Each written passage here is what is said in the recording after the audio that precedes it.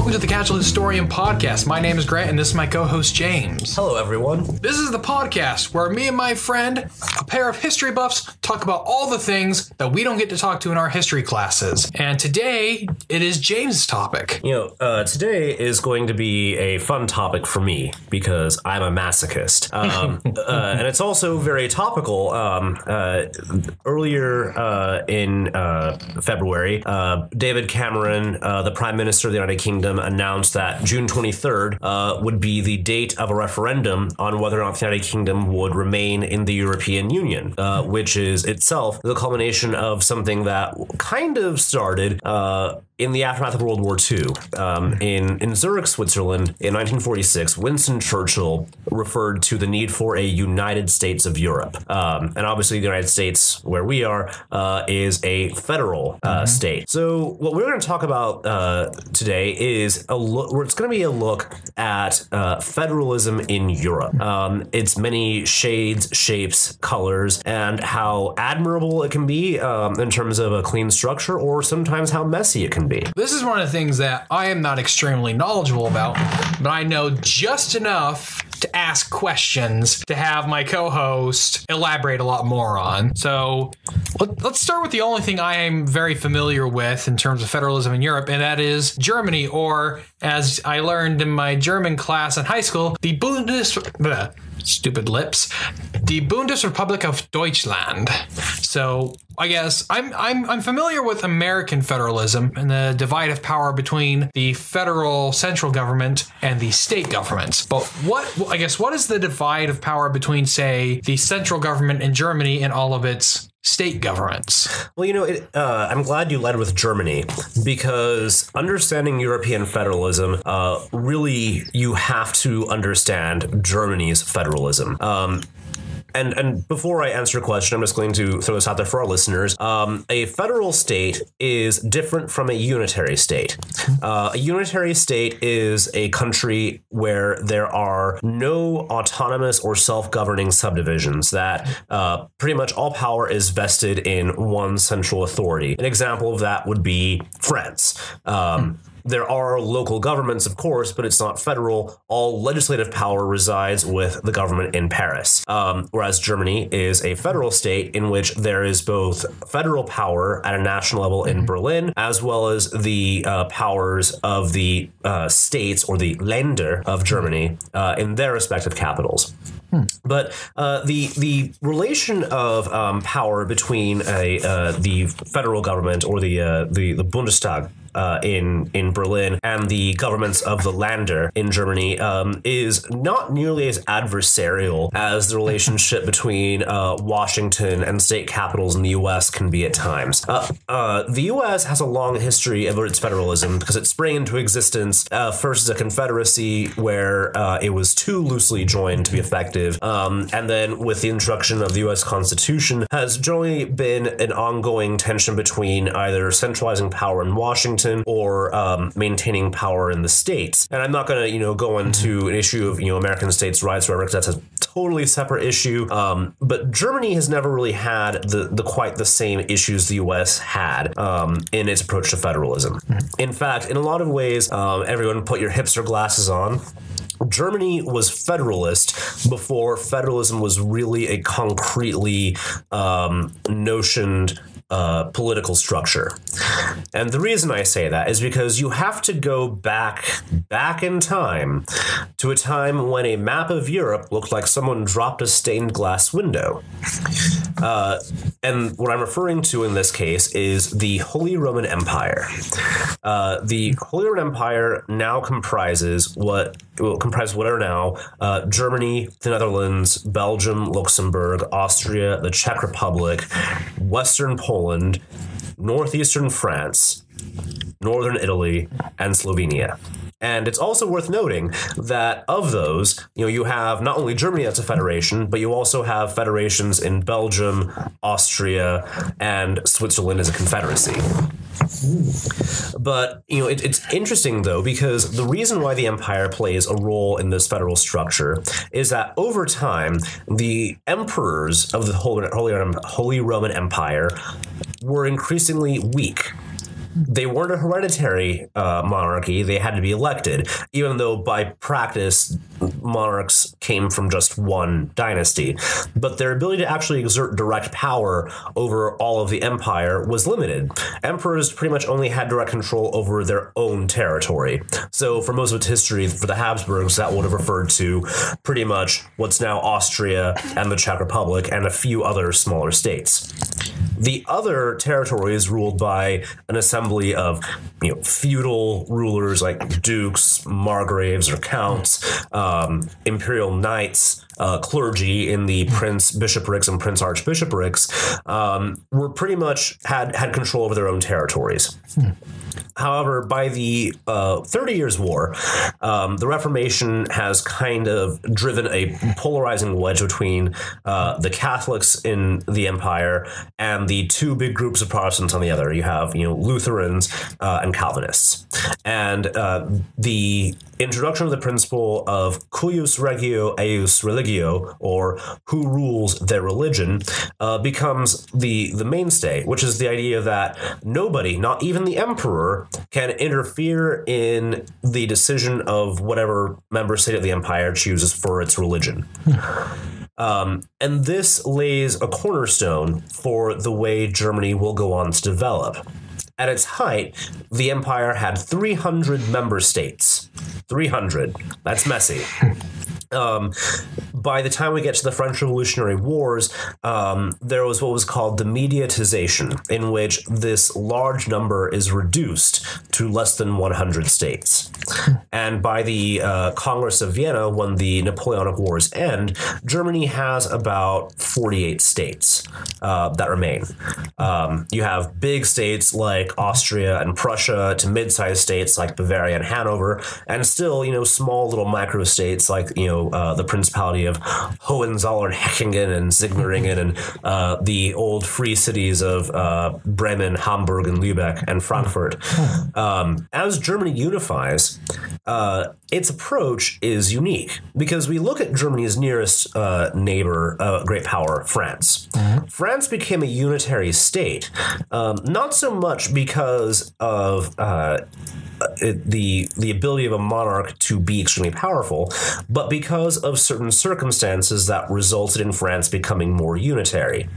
France, like Germany, was once divided into a bunch of duchies and counties, mm-hmm. but over time, uh, as results of the Hundred Years' War and other conflicts, resulted in uh, large amounts of French nobility simply dying, and these major tower, major titles reverting to the King of France, who could then give them out as kind of honorifics.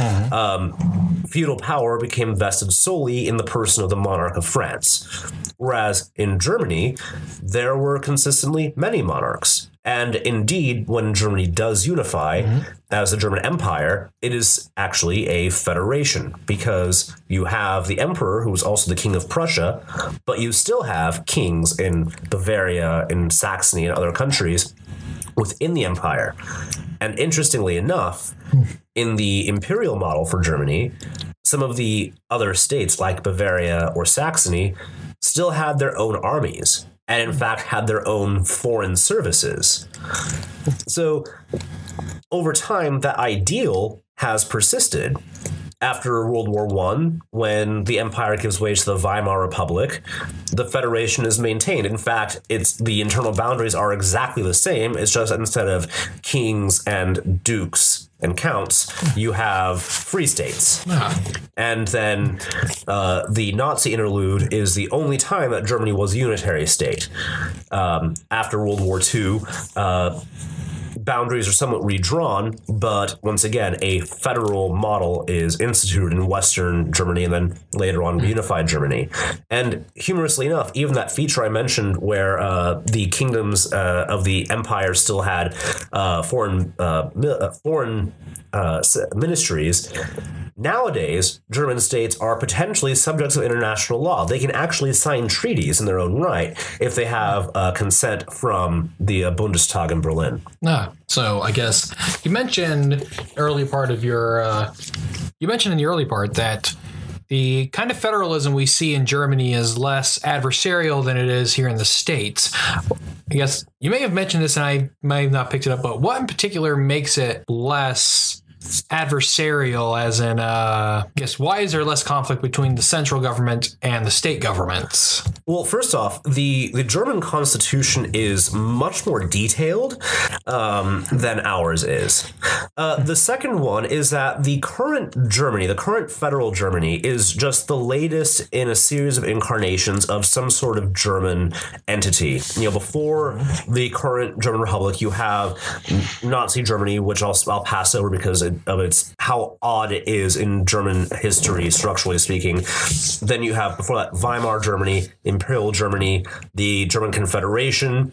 You have the Napoleonic Confederation of the Rhine of puppet states, and you have the Empire before that. But in all of these, the common denominator is the idea that the states, the Länder of Germany, as they're called now, have an element of self governance an element of culture that has existed there for centuries. And so, you know, the I, I, guess you could say that you know the national governments and their structures may have come and gone, but the local smaller governments in Germany always maintained their existence. Uh, for example, you know the well-known state of Bavaria in Germany as it is now is geographically almost exactly the same as the old kingdom of Bavaria that existed um, during the 19th century, which itself was just an expanded version of the old duchy. So, you know, in Germany, you know, you don't have a situation where the federal government is in a position to really try to gain more power at the expense of states nowadays, mostly because one, their constitution is clear enough to disallow that, but also because simply centuries of culture and history that do help shape identity uh, would prevent that. So basically, you're saying the reason that it's less adversarial is because the central government in Germany acknowledges that yes, you have existed longer than we have. You have these rights, you have this history, and we're going to acknowledge that and let you have it. While here in the United States, the individual states, most of them did not have most of them did not exist before the United States came into existence in any form, and the ones that did weren't really super independent beforehand. Right. In, in, the case of the United States, you know, on independence, you know, we have the Articles of Confederation, and then a short time after we have the Constitution. But before that, they were simply colonial governments. You know, mm-hmm. thirteen colonial governments under the sovereignty of Great Britain. Mm-hmm. Whereas in Germany, you had you know, up to three hundred, of course, but you had a situation where uh, you had states that were in many ways functionally independent. Um, you know, the ability to raise their own armies, levy taxes, um, uh, all things which the colonial governments in the United States were generally not proficient at doing on their own. Uh, so you know, we have centuries of evolution in Germany of you know individual states that eventually do accrete into you know the recognizable forms we have now, whereas with the U.S. you have the leap from uh, uh, colonial governments answerable to a central authority in London become independent, and there was something of a culture shock. You know, there there was this uh, the the sudden lack of a central authority uh, was problematic. The Confederation mm-hmm. didn't work. So then we have the Constitution created, which creates a strong central government um, in in Washington, but there was from get go a great deal of tension as to how much power Washington should exert vis a vis the states. Hmm. I see. So that is interesting. I, I am American. My specialty is American history, and I could tell you that all the colonies thought of themselves as being independent countries of their own. But adding this perspective of how much longer these German states have been their own entities even though the United States became a political entity on the modern world stage before modern Germany did is it's, it's really interesting. I'm definitely going to have to look more into that part of German history in order to give that self a bit more perspective. But I guess okay, so now I guess I think we should move on to the UK and its lack of federalism. Yeah, it, it, it's important to note that uh, the UK is an example of what can happen um, when a federal model is not uh, in play. And it's important to understand also that, you know, in, for example, Germany or the US, the federal government derives its sovereignty uh, from the combined agreement, basically, of the member states. Mm-hmm. Uh, as a matter of fact, the very word federalism or federation, the root word uh, foedus, means covenant or treaty in Latin, um, and in in German, uh, they you you'll hear terms like Bundesrat or Bundestag, um, which actually means uh, is a cognate of the word bond uh, in English. So the UK, um, on its uh, uh, the foundation of its current form is based in 1707 on the Act of Union.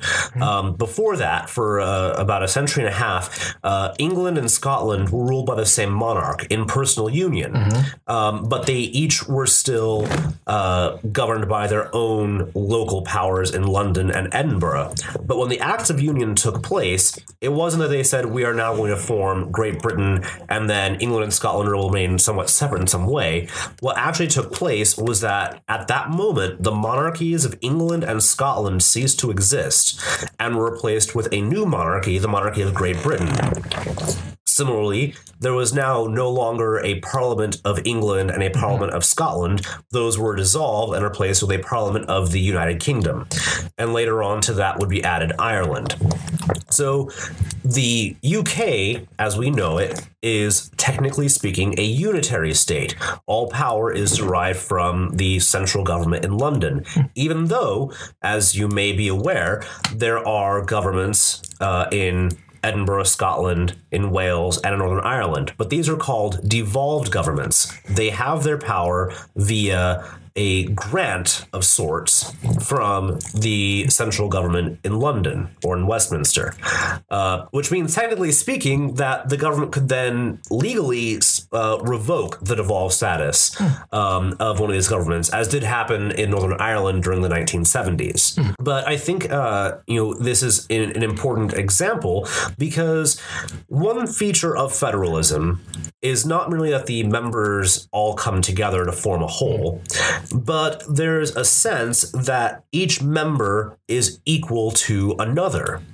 For example, in Germany, you have the well populated state of Bavaria is constitutionally equal to the tiny little free city of Hamburg uh, as far as the law goes. But in the UK, uh, devolution, in, rather than federalism, has been piecemeal and on a kind of ad hoc basis. So Scotland's parliament has a great deal of power, but that was negotiated directly with Scotland itself uh, from London. Uh, similarly, the peace process in Northern Ireland created the structure of the Northern Ireland executive, whereas uh, and whereas both Scotland and Northern Ireland have uh, pretty much agreements that say you can do whatever you like except for these things which are reserved for uh, the UK Parliament, like foreign policy or defence policy, for example. Then you have Wales, where instead of having reserved powers for Westminster, Westminster says these are what we let you do, um, and that's potentially problematic for the future of the UK uh, because. In terms of actual scope and power, uh, Scotland is not equal to Northern Ireland, is not equal to Wales. And England itself has no devolved government whatsoever, uh, and is dependent solely on Westminster for all of its lawmaking powers. Yes, but I'm willing to bet you'll have the Scots and the uh, Welsh and the Irish willing to say, well, the British government in London is the English government, which I guess you could sort of say was because in reality, the English Parliament pretty much did just absorb the Scottish Parliament when the Act of Union happened. Effectively, yes. Uh, legally speaking, no. Um, I guess that might be what they call legal fiction in this case. um, but there is a very strong sense uh, in Northern Ireland, in Wales, and especially in Scotland that uh, the Westminster government is uh, a predominantly English body. They are absolutely right. Um, England, uh, on its own, supplies far more members of parliament than uh, Wales, Northern Ireland, and Scotland combined, um, which means that the English do drive laws. Um, but there, there is also a kind of a reverse problem. Uh, which is uh, why federalism might be a, a solution the UK should seriously consider in its future, um, if it wants to actually remain a united kingdom. Uh, England, with its utter lack of representation, means that with most of its laws being voted on in Westminster directly, uh, despite the introduction of a recent uh, standing order, which is English votes for English laws. Up until this point, Scottish MPs, Northern Irish MPs, and Welsh MPs could vote on laws that affect English citizens.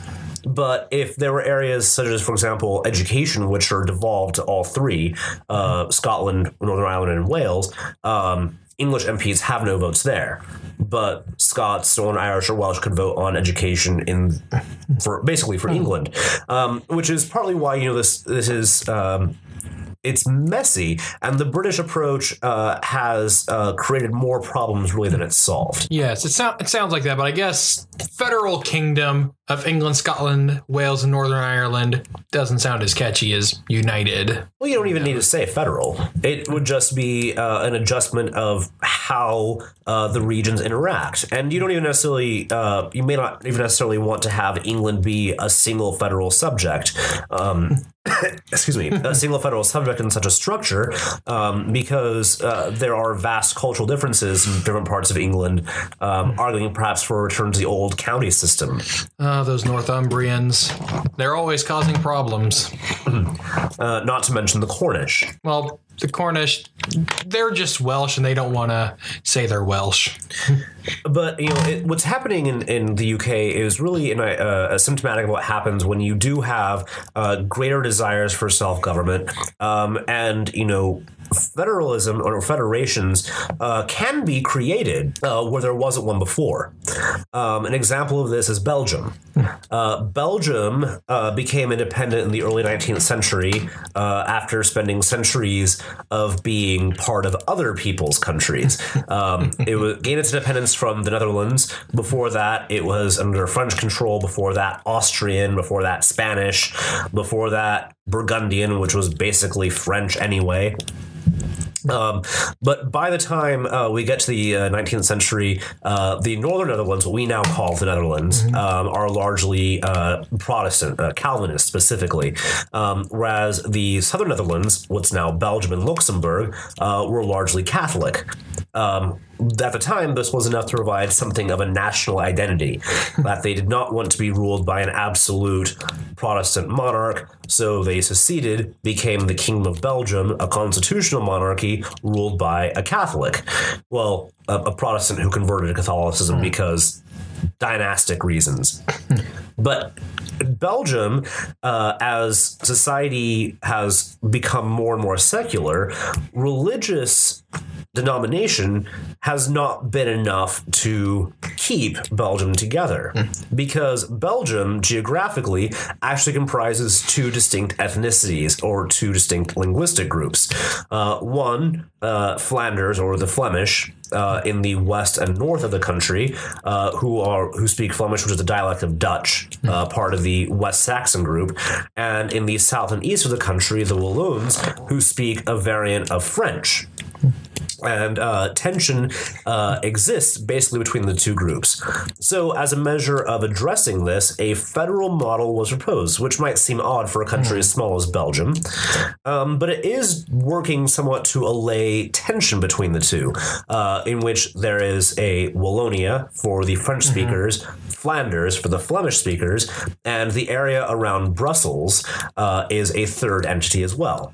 Uh, each of these groups is self governing, have their own governments uh, but are answerable uh, to overall to the central government in Brussels.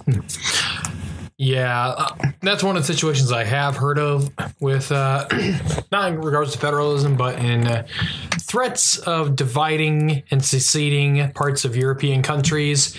And it just sort of seems like it's one of those things that it's not going to hold on forever without uh, something nasty happening. Kind of like how the Spanish constantly hold on to Catalonia. Well, the, the Spanish uh, holding, clinging to Catalonia um, and also uh, the Basque country um, are examples of why devolved government is so dangerous. Because technically speaking, Spain is in fact a unitary state. But due to the strength of feeling um, in uh, in the country, both in terms of its maintaining its existing form, um, juxtaposed with the desire for greater autonomy and self governance, um, in uh, Catalonia and in the Basque Country, there's a great deal of tension, um, and so the the intractability of the governments in Madrid to provide uh, a truly federal model um, are actually making the situation worse. I would say because you know e- though there have been uh, movements to devolve power to both the Basques and to the Catalans to other groups in Spain, uh, like the British model, it's very haphazard, very ad hoc, and because again, in a devolved state, the power in theory can be taken away at any time. Whereas in Germany or in the US, the central government can't simply say, you no longer have this power. Whereas in theory, the Spanish parliament or the UK parliament could, with one motion, strip the rights of, say, the Basque, the Catalans, um, which uh, is very dangerous if one wants to see the, the country move forward. Well, then, I guess since we're already on the continent of Europe, let's move on to, I guess, the crux of this idea of federalism in Europe and the, uh, I'm not sure whether to call it a lack of federalism or just badly designed federalism in the European Union.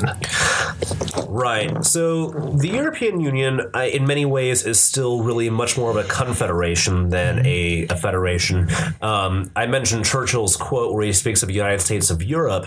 Um, and it, it, the European Union, I must say, has actually done important things. It and its predecessor organizations uh, did a very important job of one helping Europe recover from World War II, um, and promoting a new spirit of cooperation and friendliness among European governments, uh, which was really revolutionary. I mean, considering that for, for the previous few centuries of human history, uh, European governments fighting each other had led to some of the most devastating conflicts the world had ever seen. Well, you can only bash each other's head in so often, with one of those bashings involving genocide before people just sort of lose all energy to do it. Exactly. And so the Europeans finally got wise to the idea that they could achieve more um, by grouping together rather than expending their energy trying to kill each other. And the EU um, has been the product of that dream. And I think that that concept is not so much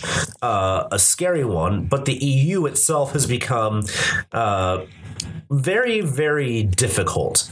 Uh, the average citizen of any country may not be able to explain to you very well how their own government works. Trying to explain the EU uh, and the radically complicated treaties that create it, um, its odd processes, uh, becomes frustrating it becomes so remote and obtuse that uh, it can lose legitimacy in the eyes of the beholder. Its parliament has almost no initiative on its own. The EU, European Parliament uh, can only debate legislation proposed by the Commission. Members of the Commission are appointed by uh, the individual member governments. And then I won't even get into the uh, odd uh, distinctions between the Council of Europe, the European Council, and the Council of the European Union, all of which exist but are separate from each other and do different jobs. Uh, I think that uh, because of the pace of integration, there are some who do truly want to see a federal Europe. And I think you especially see these groups in uh, in France, in Germany, uh, Netherlands, Belgium, Luxembourg, and Italy, basically the core of Europe. Um, but some of the the newer uh, states may be less enthusiastic about it, uh, especially those in Eastern Europe. Some might be too weak to be able to contribute effectively, like say Greece in its present form. Yeah, though I think though there is a desire amongst the elites in the core countries of the European Union to have a more uh, federalized system, I think the issue is that they all imagine what this federalized system would look like would be differently. I mean, the Germans have a different aspiration and view for the European Union than the French do. Well, I, I'm not sure I'd agree with that. Um, the the treaties uh, commit Europe to ever closer union, uh, which, by the way, is one of the big objections the the Brits have developed recently in terms of you know why this referendum is happening. Britain's now exempt from it um, because Britain likes to pretend that it's not an island off the coast of Europe so much as it thinks that it's you know um, a continent like North America, but the the what's called the Franco-German motor uh, this co- this core of cooperation has really been what's driven uh, European integration, uh, and it's really interesting because even when you have uh, leaders of both countries of different ideological stripes, for example, you have uh, conservative Merkel in Germany and socialist Hollande in France. There's still this this consensus um, in terms of trying to move Europe forward. Some disagreements on details, but they kind of agree on this. But I will say though that uh, these views are not necessarily shared by other politicians of their stripes elsewhere. For example, uh, conservative Cameron does not necessarily share uh, conservative Merkel's desire for a more uh, unified Europe.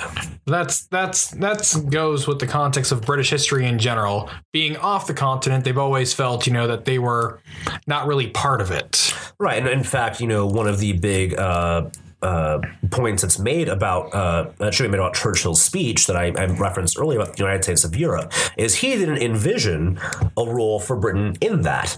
It was only later on uh, at the year uh, the United Kingdom would eventually join the nascent European project after having its membership vetoed by France.